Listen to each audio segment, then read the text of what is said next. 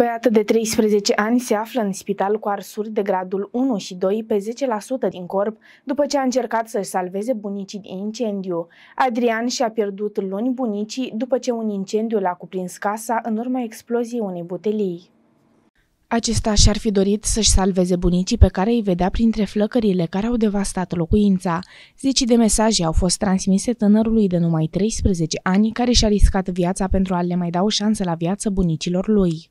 Unul dintre mesajele transmise tânărului pe pagina de Facebook a fost transmis de Dacian Cioloș. Draga Adriana, ai făcut tot ce a fost omenește posibil. Dumnezeu a vrut să ia pe bunicii tăi la el. Tu ai multe de făcut în viață pentru tine, pentru cei dragi, dar și pentru memoria dragilor tăi bunici. E important să te faci bine și să-ți trăiești viața cu rost, așa cum cu siguranță bunicii tăi și-o doreau și ei pentru tine. Mulți oameni buni sunt alături de tine, în sănătoșire grabnică. Cu drag, Dacian.